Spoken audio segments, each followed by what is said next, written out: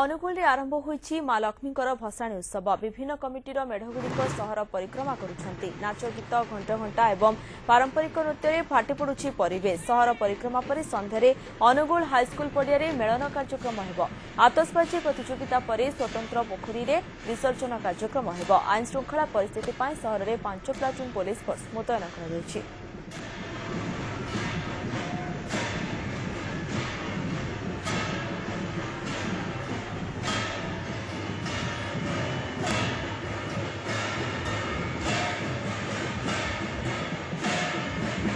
বতিশটি মেঢ় হয়েছিল সুসজ্জিত মেঢ় হয়েছিল যাত্রা বহুত শৃঙ্খলতার সহিত বহুত বড়িয়া সুন্দর হয়েছিল